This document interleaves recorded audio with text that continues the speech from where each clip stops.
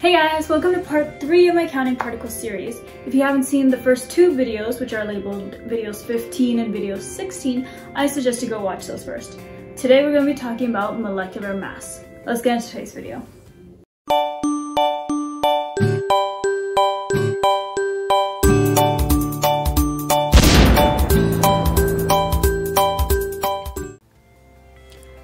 First, let's go over last week's practice problem.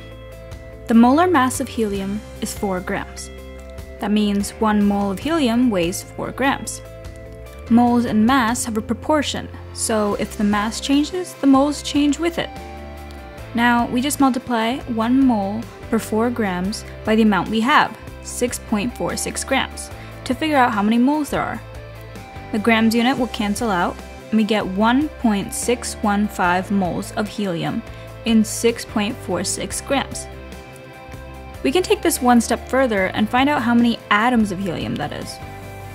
There are 6.022 times 10 to the 23rd atoms of an element in a mole, as you probably remember from the last video. That, multiplied by the amount of moles we have, should tell us how many atoms there are. In this case, there are 3.729 times 10 to the 23rd atoms. That means that 6.46 grams of helium is equal to 1.615 moles, which is equal to 3.729 times 10 to the 23rd atoms. Now let's talk about molecular mass. Molecular mass is the mass of a molecule, pretty self-explanatory. It's the sum of the atomic masses in a molecule. There isn't much to know about this conceptually, so let's just do a couple problems to check our understanding. First, let's calculate the molecular mass of sulfur dioxide, which is SO2. S, or sulfur, has an atomic mass of 32 AMU. O, or oxygen, is 16 AMU. Keep in mind, however, that there's two oxygen atoms, so we have to multiply its mass by 2. Add these two together and you get the atomic mass, which in this case is about 64 AMU.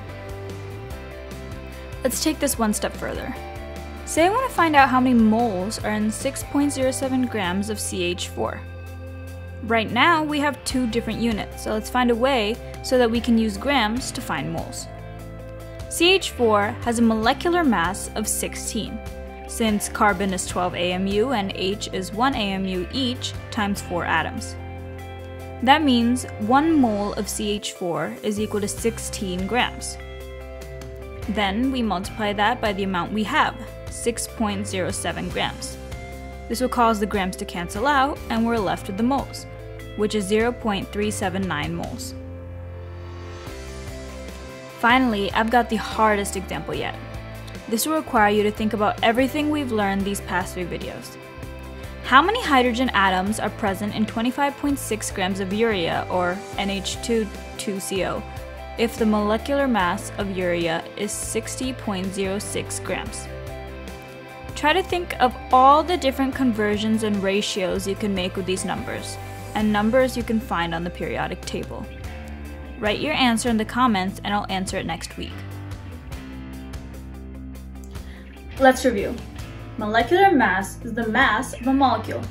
To find this, you just have to add the atomic masses of all the atoms within that molecule. That's pretty much all you need to know about it. Then you just need to know how to find it and apply it in mathematical equations, just like in the problems we did today. It might be difficult at first, but soon you realize it's just addition and multiplication. Please like, share, comment, and subscribe for more videos every week.